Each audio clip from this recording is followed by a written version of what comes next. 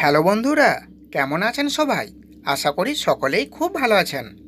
আজ আমি জানাব, আপনার রান্নাঘরে থাকা সামান্য এই জিনিসটি জলের সাথে রেখে দিন এইভাবে। তাহলেই আপনার বাড়ির সমস্ত আরশোলা মাত্র এক মিনিটের মধ্যে আপনার বাড়ি ছেড়ে ছুটতে পালাবে বাড়ির বাইরে। বন্ধুরা, আমাদের ঘরবাড়ি পরিষ্কার রাখার ক্ষেত্রে কিছু কিছু কীটপতঙ্গ আছে যা আমাদের চিন্তার অন্যতম কারণ হয়ে দাঁড়ায়। যেমন আরশোলা। রান্নাঘর, বাথরুম বা বারান্দার নানান কোণে আরশোলার উপস্থিতি দেখতে পাওয়া যায়। আরশোলা মূলত বর্জ্য আবর্জনায় বেশি থাকে। তাই শরীরে করে জীবাণু বহন করতে খুবই ওস্তাদ। আরশোলা তার শরীরে করে বিভিন্ন রোগ জীবাণু বহন করে আমাদের বাড়ির ভিতর চারপাশে ঘুরে বেড়ায়। এমনকি খাবার দাবারের উপর এসে বসে এবং তারপরেই আমাদের নিজেদের অজান্তেই আমাদের শরীরে ঢুকে যায় কঠিন কঠিন রোগ। কখনো হঠাৎ করে পেটের যন্ত্রণা শুরু হয়ে যায়। আবার কখনো বা পায়খানা বমি আরম্ভ হয়ে যায়। অবশ্য আজকের দিনে হাট বাজারে একটু খোঁজ করলেই আরশোলা মারার বিভিন্ন ঔষধ পাওয়া যায়। কিন্তু এইসব আরশোলা মারার ঔষধ মানেই বিষাক্ত রাসায়নিক, যা আরশোলা শরীরে লাগার পরে যখন আমাদের খাবার দাবারের উপর এসে আরশোলা বসে পড়ে তখন আবার সেই সব আরশোলা মারার বিষগুলি আমাদের খাবার দাবারে মিশে গিয়ে শরীরের ভিতর প্রবেশ করে দেখা দেয় নতুন নতুন রোগের উপসর্গ।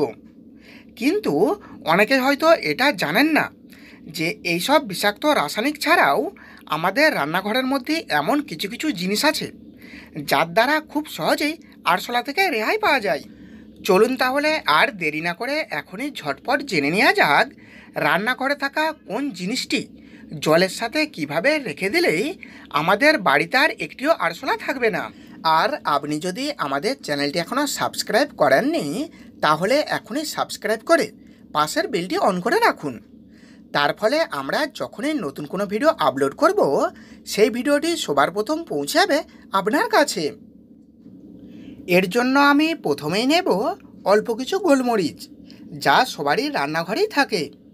এই গোলমরিচের ভিতর এমন কিছু গুণ আছে যা আরশোলারা একেবারেই সহ্য করতে পারে না। আমি এখানে গোলমরিচের পরিমাণ নেব দশ পিস। এবারে এই গোলমরিচগুলিকে একটি হামাল দিস্তায় রেখে মোটামুটিভাবে একটু গুঁড়ো করে নেব।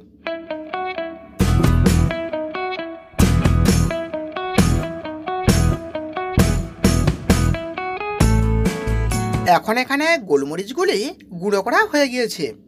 এবারে এখানে লাগবে অল্প একটু সাধারণ জল। এবারে এই জলের সাথে গোলমরিচ রাখা পাত্রটিকে ঢাকা দিয়ে এক ঘণ্টার জন্য ভিজতে রেখে দেব। এরপর এক ঘণ্টা হয়ে যাবার পরে অল্প একটু তুলো নিয়ে ছোট ছোট করে বেশ কয়েকটি টুকরো করে ভাগ করে নেব।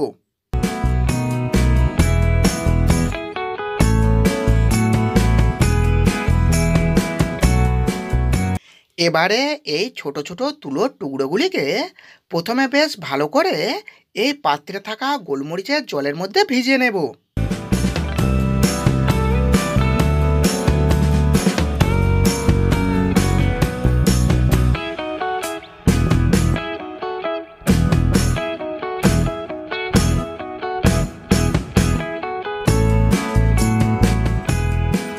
এখন এখানে প্রাকৃতিকভাবে ঘরোয়া উপায়ে বাড়ি থেকে আরশোলা তাড়ানোর উপায়টি রেডি হয়ে গিয়েছে।